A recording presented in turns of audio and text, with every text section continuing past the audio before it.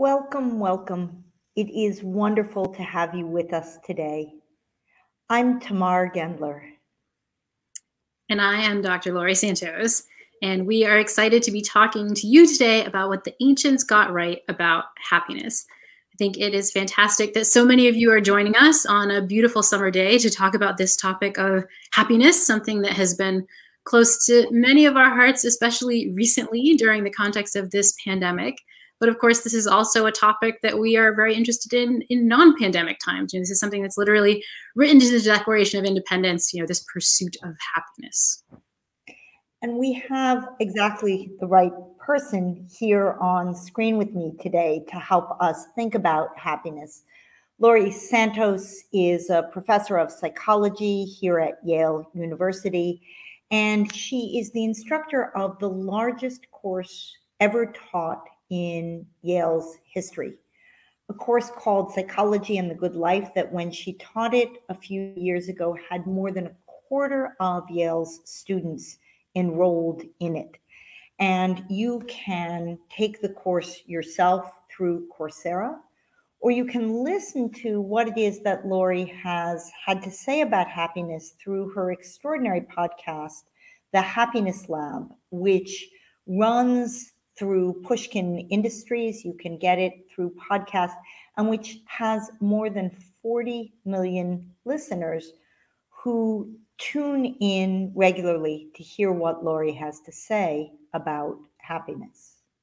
And Tamar is, of course, as usual, for my friend being very modest here, because at least 1 million of those downloads were for her episode on my podcast, The Happiness Lab, uh, talking about Plato and Aristotle. Tamar is also an expert in all of these big topics.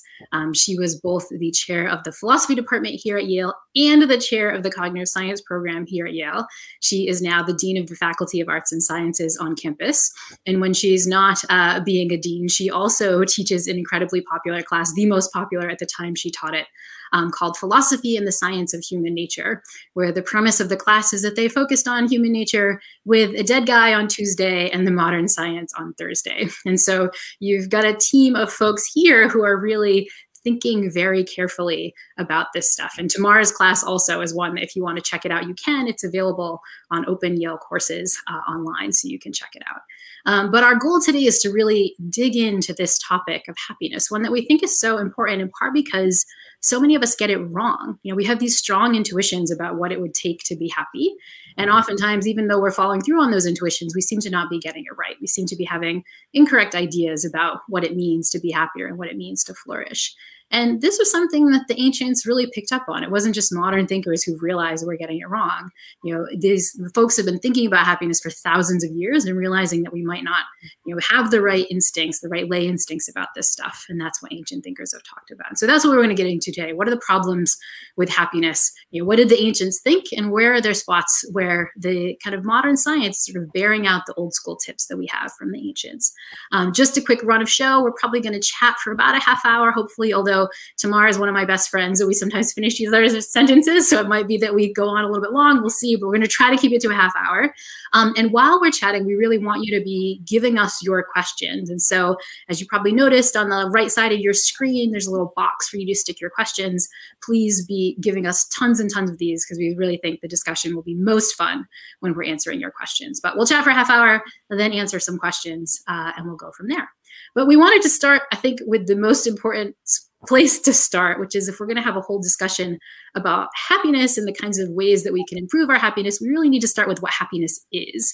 Uh, and I know from teaching my class and from my podcast that this is a spot where our lay intuitions can be worse.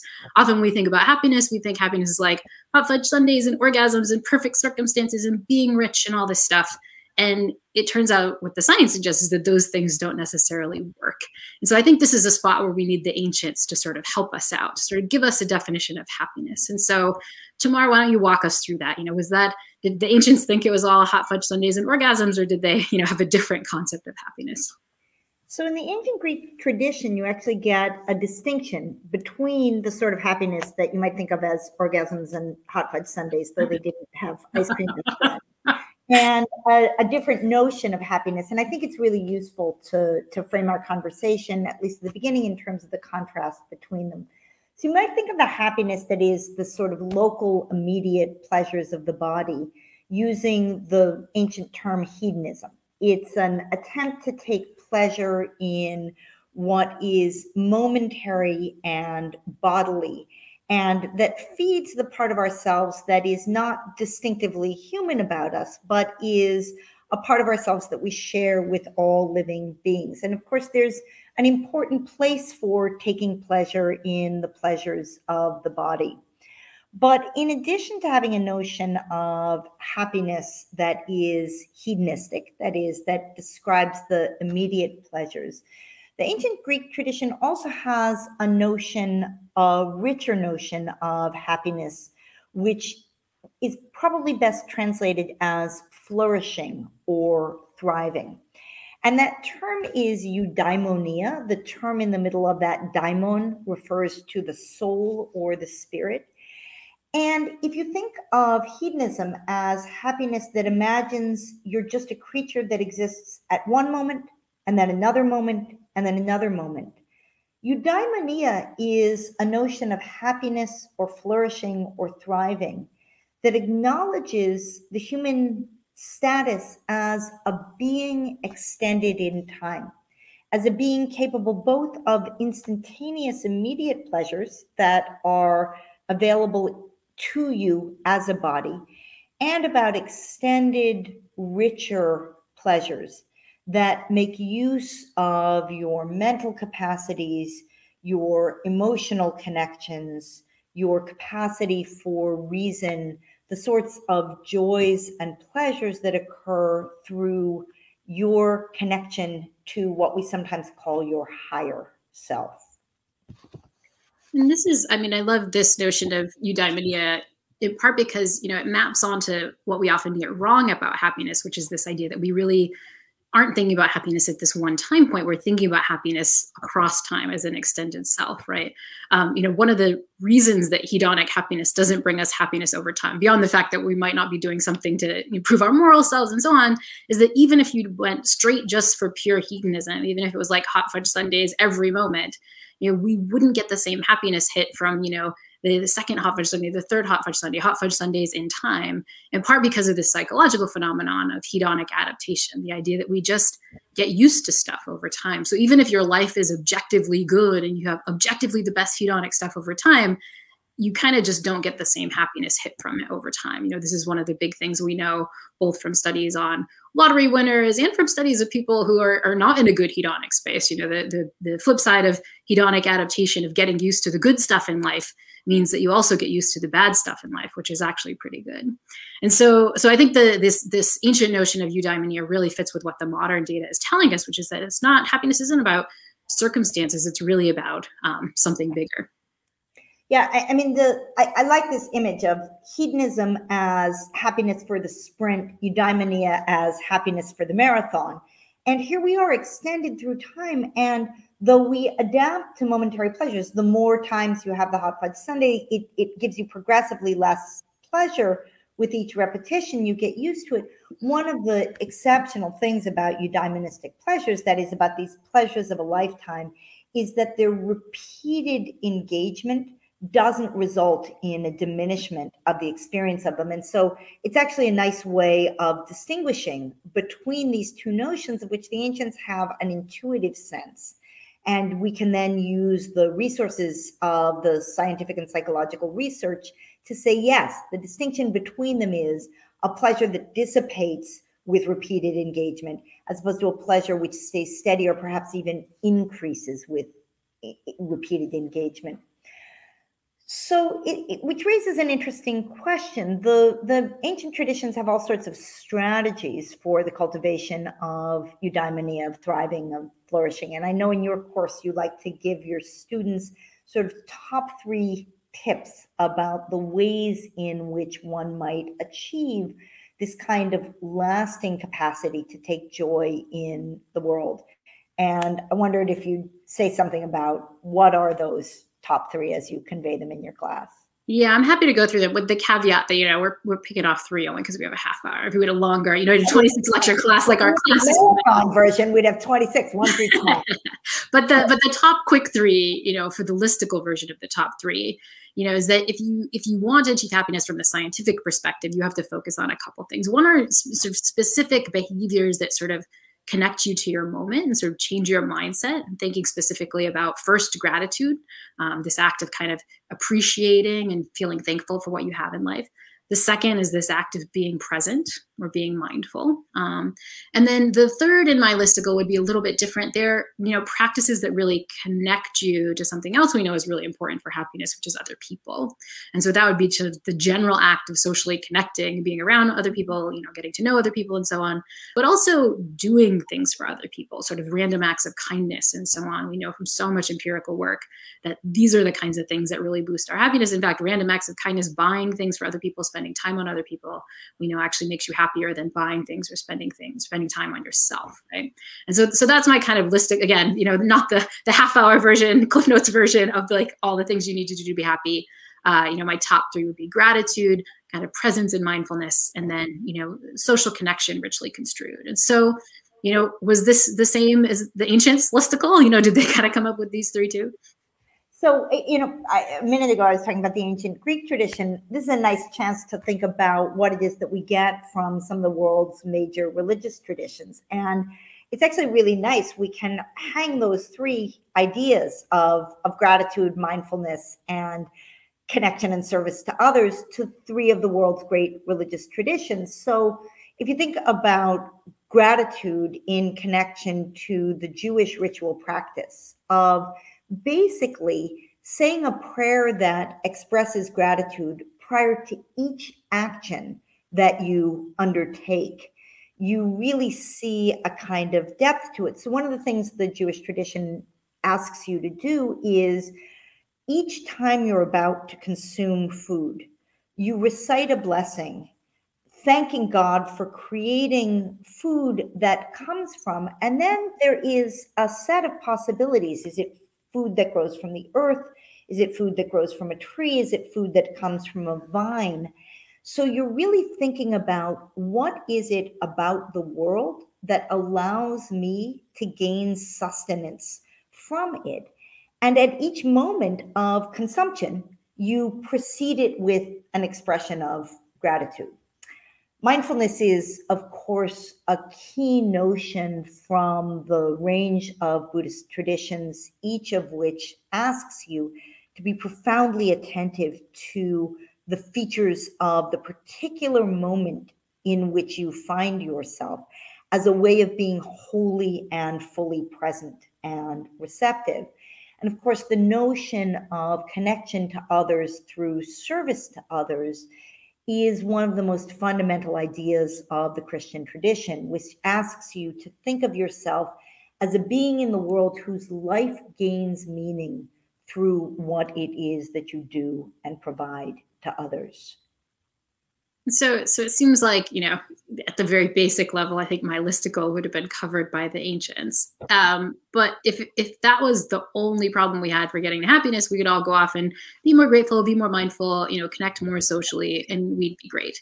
But I think one of the problems with happiness is that it's elusive in part because some of the things we need to do to become happier, these things and even other things, we need to like actually re- kind of get get over our desires, get over our lay intuitions about what we should be doing. So what do I mean by this, right? You know, I am like teach this class on happiness. I know that I would be happier if I was really richly socially connecting with other people, but you know, when I'm waiting around, you know, in some waiting room or on a subway or something, I don't often talk to the people around me. I pick up my phone and look at something dumb on Reddit. You know, I know I would be much happier if I engaged in practices that allowed me to be more mindful, things like meditation and so on. But when the alarm goes off in the morning, even though I know I'm supposed to do my 10 minutes of meditation, I kind of don't want to do it. Right. Like these things are the kinds of behaviors that are going to boost our happiness, but they also seem to be ones that require you know regulating desires for other stuff like it, it's kind of we reflectively can know that we want to go after these things but kind of in terms of our basic desires and our basic behaviors it seems it's not easy and i feel like this is kind of a dumb feature of the like this is a, an odd and strange feature of human nature but it's a strange feature of human nature that really was something that the ancients remarked on a lot right?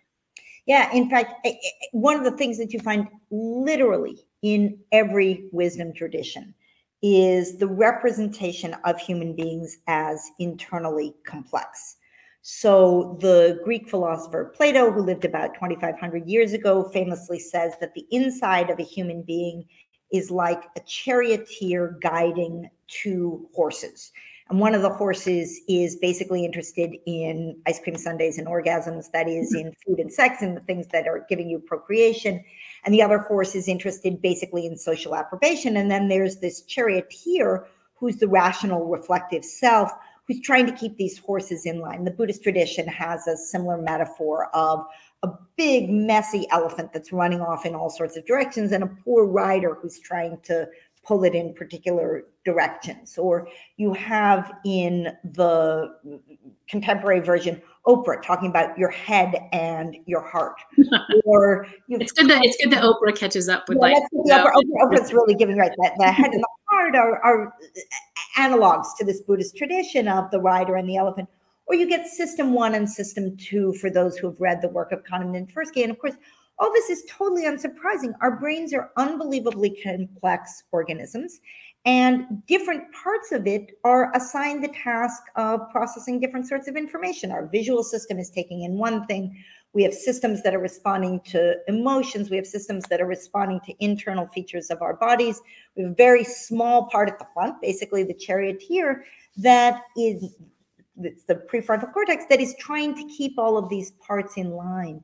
So it's part of what self-reflection brings and part of what the scientific research regarding the structure of the brain brings is this common story which is it is inevitable for beings structured like us that we will experience ourselves as being pulled in different directions and this seems to be true at a really broad sense. You know, you mentioned sort of system one and system two. I think neurally people tend to, you know, at a very gross level, sort of thinking that as sort of areas of the brain that exert sort of self-regulation, you know, frontal cortex kind of controlling other parts of our brains and our desires. But, you know, even if you kind of dig into the neuroscience even more, what you find are these again these interesting tensions. And so one of my favorite tensions i know you've heard me talk about this a lot Tamar so like you block your ears as i tell everyone else is what i think is like the dumbest feature of the human brain which is that our wanting system the system that causes us to like desire stuff and experience pleasure from stuff and so on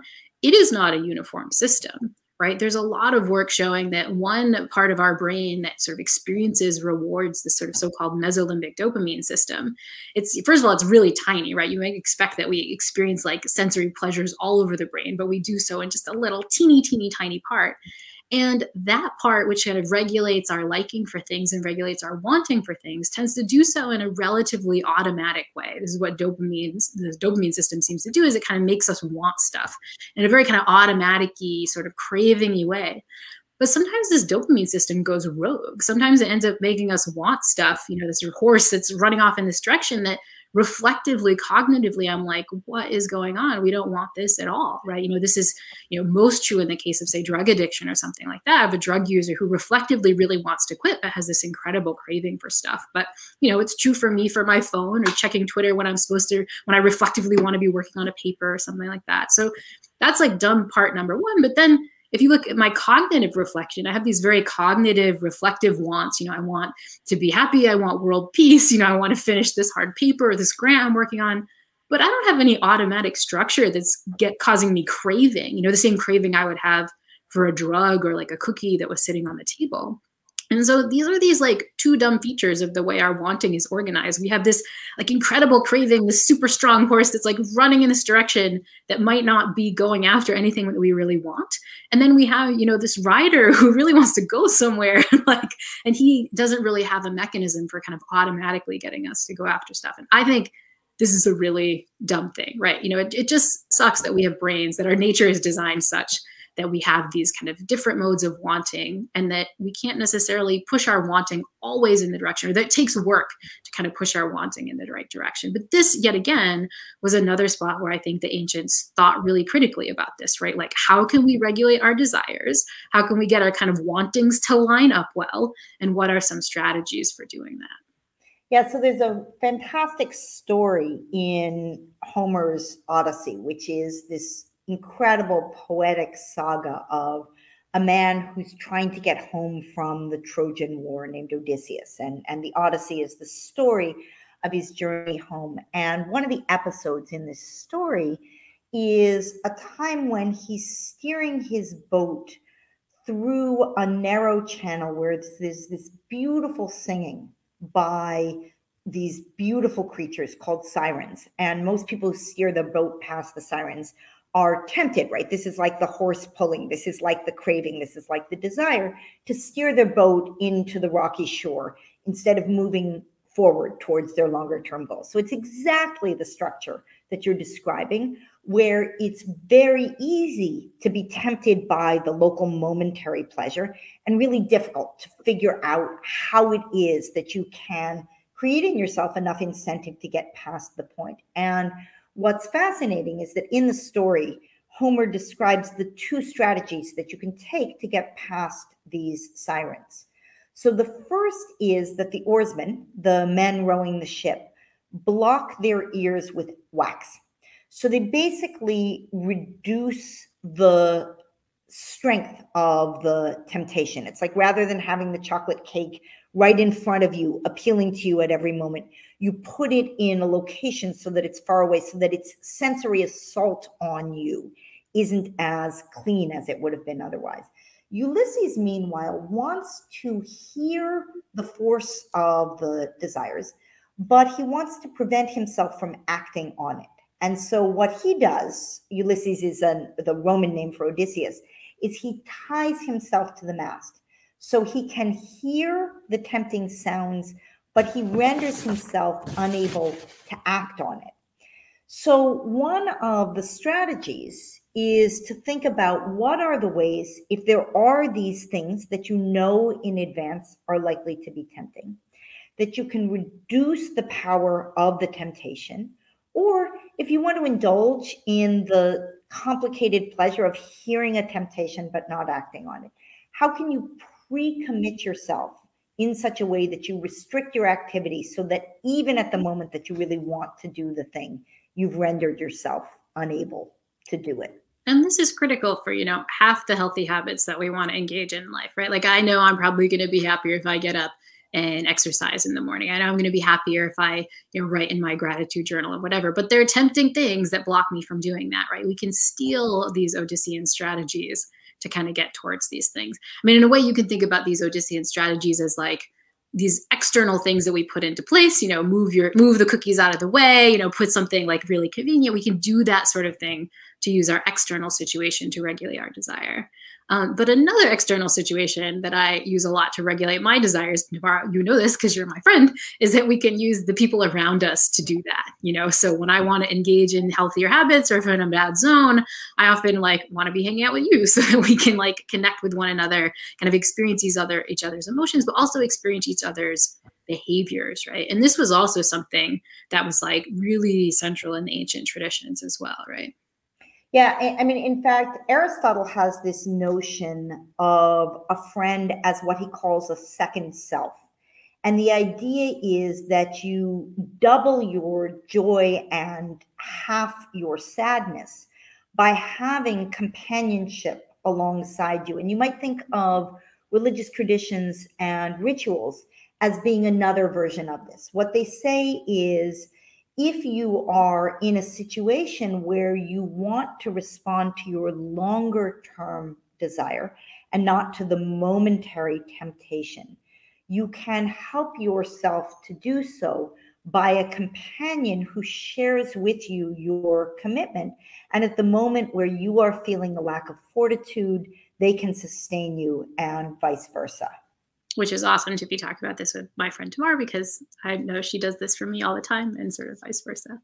Um, but another thing that Tamar helps me out a lot with is not trying to figure out ways to regulate my desires externally, but kind of giving good tips for helping to regulate these desires internally by like changing our mindsets. So this isn't like Odysseus' strategy of like tie yourself up or change something in the environment. It's change something within you. And this seems to be like a spot where like we can actually do this pretty well through changing our habits. Something else that Aristotle, the same person who realized the power of friends, could actually think was really important too, right? Yeah, Aristotle uses this wonderful analogy. He talks about how is it that you learn to play the harp? And he says, you become a harpist by playing the harp. That is, you engage in the activity that you want to have become natural to you. And if you practice it enough, it becomes not a second self, but second nature. It becomes what you do routinely. So he notices that if you want to become courageous, you practice acting courageously until it becomes your instinctive response. And this is, of course, exploiting what it is that we earlier said about the brain, which is a whole bunch of us is part of what we share with non human animals. And just as you can train your dog that if you throw a stick, it goes and fetches it, or if you make a particular sound, it sits down or stands up, you can train the non you can train the parts of your brain over which you don't have direct control to respond habitually and instinctively in the ways that you want them to and and the way sometimes it makes sense to summarize aristotle is that what Aristotle is basically saying to you is act as if you were already the thing that you want to become. And if you do that often enough, that is what you will find yourself being. It's a sort of fake it till you make it, but in Greek.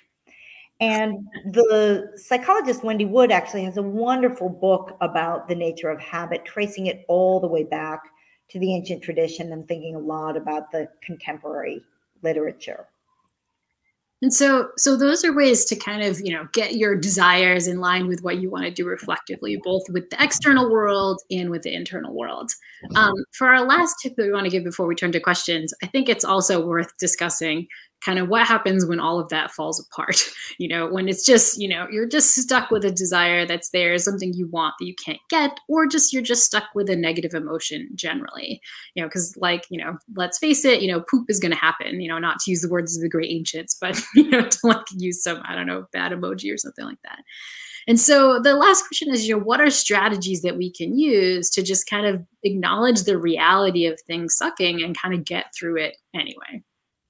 Yes, so so one of the traditions that really addresses this is what's sometimes called the tradition of Stoicism.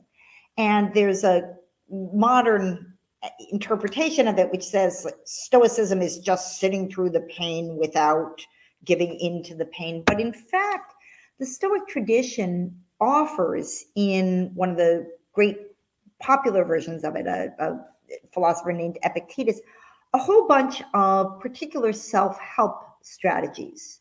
So you are feeling suffering, and he asks you to reframe it, to imagine that it's happening to someone else, to imagine that you just need to get through the next 30 seconds of it, and then the next 30 seconds, and the next 30 seconds.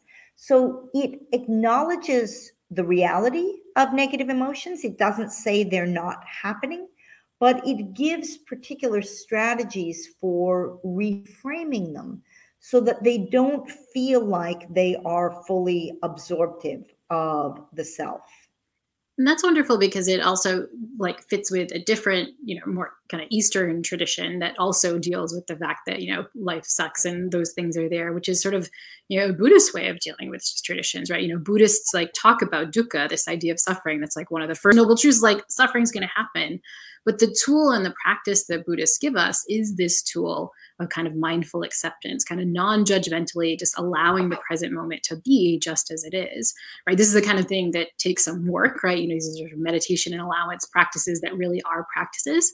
But the modern science is now showing that these ancient tools work really, really well. In fact, our colleague uh, Hedy Kober, who's a, a psychiatrist and neuroscientist at Yale, she actually studies this process of mindful acceptance, how this works in the brain. And what she finds is that, like, the act of kind of mindfully just allowing your desire to be there, your negative emotion to be there, can actually shut off the neural mechanisms that are causing it. So, for example, if I'm experiencing a craving for, say, a cigarette or a piece of food, if I just allow myself to mindfully be with that craving, it's going to kind of work like an urge and sort of I can kind of surf it and it'll go down. But these, it just doesn't go down in terms of my experience of it. You actually see less neural firing in these reward regions um, that would be causing the craving in the first place. So these ancient traditions of just saying, hey, you know, if you wind up with this, these negative emotions or these kind of desires that you can't fulfill, you can also reframe them and even just allow them to kind of get through them. Um, and so, you know, so those are some of the strategies I want to get to. I'm watching so many great questions come in through uh, Squiddo. And so I think we should probably switch over and kind of answer um, some of these. Uh, and one of the ones that caught my eye because I find it uh, interesting for the, again, another spot where I think our mind doesn't do us really a great service is this one, which is um, how would you place the importance and impact of self awareness strategies, things like journaling, um, in order to deal well with our irrational selves? And the reason I like this question in particular, Tamar, is that it seems to uh, harness this concept that you and I actually wrote together about. In fact, I think the only paper that we've actually published together um, about, you know, the, the parts of our awareness that are good and when there are spots where awareness can let us down. Um, do you want to introduce this idea of the fallacy that we came up with together? Yeah, so so the we we gave it a sort of funny name, which is we called it the GI Joe fallacy. GI Joe was a character in some early children's television shows and and Tamar wasn't as much of a child of the 80s as I was. Those of you who are children of 80s know G.I. Joe, terrible cartoon, really cheesy. I just, you know, defending our use of the G.I. Joe title. The, the punchline of it is, and now you know, and knowing is half the battle. And the basic idea is if you're aware of something with the conscious, rational part of yourself, you know but knowing is only half the battle. In fact, it's probably less than half the battle. The what you need is the capacity to engage with the idea with what it is that's capturing your attention in ways that make use of the other parts of yourself. Yeah, and I think you know to get to this question, you know, the, I think that specific question asked about things like journaling and so on. I think these techniques are fantastic for giving you some awareness of two things. One is awareness of you know your desires your emotions all these things maybe even some awareness of what your reflective self really wants you know i think we need kind of space and journaling can give us that space to figure that out but just knowing what your reflective self wants doesn't immediately turn it into the automatic kind of wanting that means you're naturally going to engage in the behaviors that get it. And this is what gets to some of the strategies we were just talking about. This is a spot where you might need to regulate your environment in the ways we were talking about to get those strategies better. Maybe your reflective self, when you journal, you realize I need to do something to deal with the fact that I'm griping all the time and you know complaining to my teammates at work or something. That might be a spot where you're like, oh, reflectively, you need to build in that gratitude practice, right? You might reflectively recognize like, oh, this is a spot where you know I really am just like so distracted and I have all these temptations. Ah, you know that's when you steal those Odyssean strategies we were talking about about getting rid of some of those temptations. But the key is that the reflection only gets you so far. You have the realization, but you haven't won the battle yet in the terms of GI Joe. You really still need to put in the work to kind of get a little bit further. And, and what know. it lets you notice are what are the patterns where the rational reflection isn't sufficient.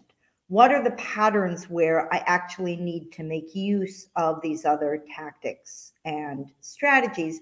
What are the places where I either need to reduce the force of the temptation, tie myself to the mast, surround myself by friends and rituals, or engage in these practices of distancing and mindfulness.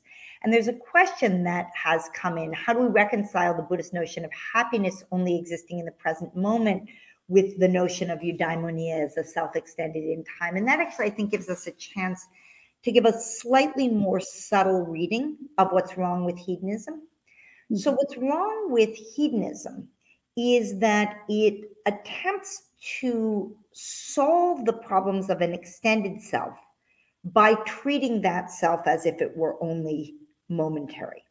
That is, the hedonist ignores the fact that if you are not fully absorbed in the moment, which you are not if you're not engaged in the sort of mindful practice that the Buddhist tradition asks, if you are actually engaging in the moment in a way that implicitly compares it to other moments, which is what hedonic adaptation shows us to be doing, then you will experience this decline of pleasure. So basically, you can think of there being two good choices and one bad one. One good choice is to be fully absorbed in each moment. That's actually a really powerful way of being an extended self. It's fully present now and fully present now and fully present now. Or you can be an extended self that thinks of its capacities and strengths as accumulating over time. That's what we are thinking of when we're talking about the eudaimonistic self. The mistake of the hedonistic self is to think that you can be partially present in a moment and have it be as if it were new. So it's got a fact of extendedness with a practice of momentariness. And you need the fact and the practice to align.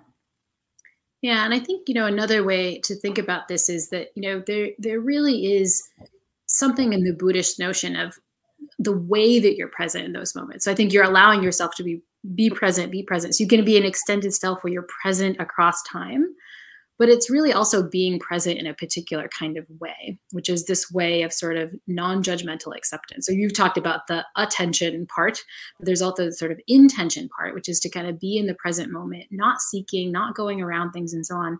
And I think when you're not caught up in your own suffering, when you're not caught up in your own desires, that can really allow you the sort of reflective access to figure out what are the kinds of things that you need to get to a higher moral purpose? You know the kind of way that i think aristotle really thought of this eudaimonia with the like daimon the daimon part which is really about your soul and sort of building these things up. You know if you can non-judgmentally accept the present moment then you can have a kind of contentment from which you can kind of achieve other sorts of moral goods too. So i think there's a sort of connection there as well um, sorry, I'm now scrolling through more questions here. Um, here was another one that I thought was very uh, kind of interesting, a little bit morbid, but you know, we, we can go there. Um, what can the ancients tell us about finding happiness in the face of death? Um, this was actually something that I think the Stoics talked about a lot, right? That they, they the Stoics really thought you should think about your own death. They had this idea of pre premeditatio mortem, right? Like you should really think about not just like, hey, I'm gonna die, but also, you know, my husband might leave me, I might lose my job, I might break my knee. Like the Stoics really thought that you should engage in a process of what they referred to as negative visualization, right? You should take some time to meditate on all the bad things that could happen to you and the reason they thought this gets back to, you know, one of my top three, you know, happiness tips that I think are really powerful, which is this idea of gratitude. Oddly enough, this act of thinking about the fact that, you know, you might die, about the fact that these bad things might happen, it can give you a little bit of gratitude for the fact that the counterfactual is true right now. Like I am not dead.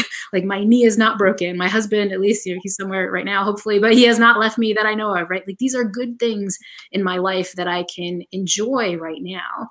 And so I think the Stoics were really into the kind of morbid, the sort of premeditatio mortem, in part because they wanted to get us to, to use that negative visualization to think about the good stuff.